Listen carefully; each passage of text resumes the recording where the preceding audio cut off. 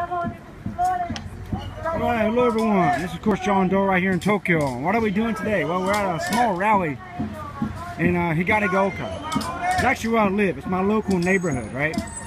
And we're at a small rally.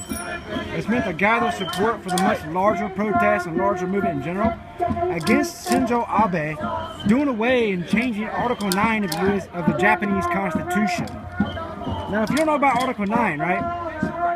Article 9 basically bars the Japanese government from engaging in war of any kind. It basically says Japan is, the Japanese government is obligated to defend Japan only, defend its borders, self-defense. Not a bunch of war of aggression. Engaging in war of imperialism, which is exactly what Shinzo Abe wants to do. Right? So, we're here to say no to that. You know, actually, this is a small rally in a local neighborhood. This is one of those large, you know, super large protests you know, you're normally used to seeing on the news and media and all. This is a local one. A local protest is just as important as the more larger national approach you see, you see down in uh, central Tokyo. What this type of thing does is builds local support within the metro area. You, know, gotta be everywhere in this type of fight, this type of thing, right? You can't limit yourself just to a central area. Take your message to the people. Now, Hikarigaoka is a very, very, very um, residential area. so that's why this is very important. This is taking this message directly to the people of Tokyo. Right? Not a bunch of businesses, not a bunch of government stuff around here. You know, it's actually where people fucking live. So I think it's very smart. Very smart to do a small demo like this, a small march rally like this in this area. You know, it makes it more than just something seeing passing the media on TV. It's right in your face. And you can see there's small rallies, quite a good number of people actually. You know, see behind me, few more people behind me. Uh, that will um, walk around and show you a bit.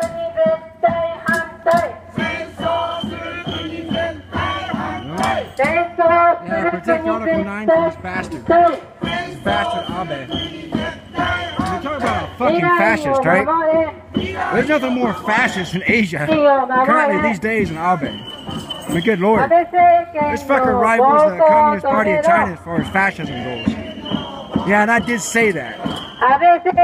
I do not support the Communist Party of China whatsoever. And I surely don't support Shinzo Abe's fascist neoliberal crap. You know, wanting to make Japan lapdog of Daddy America. You can clearly see Japanese people don't want that shit just by this little small rally. And I'm hopefully get to one of the large rallies soon to show you that. Guys, you know I'm a journalist at heart. Well, I do have a quite a gonzo style, as you guys know, you know, so I kind of jump in a fray and join the party, right? Best way to get the real story. That's what we're doing right now. Alright? We're going to a little park right now. Now here's what I'm surprised by, right? There's not a cop anywhere in sight right now. I'm really amazed by this, right? I'm shocked there's no cops around. Usually I go to any protest or demo in Tokyo, man, cops are everywhere, but this one, no cop anywhere. I guess these guys are really smart, or the cops don't care about something this small. I don't know, but anyways, I'm a little surprised.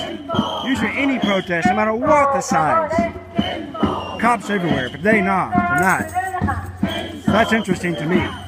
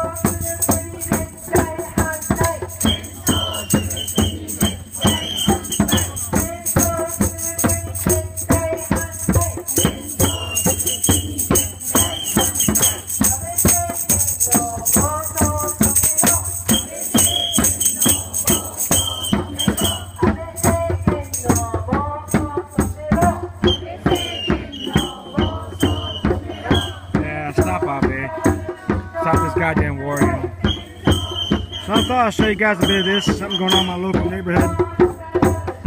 This issue's hot, so damn hot.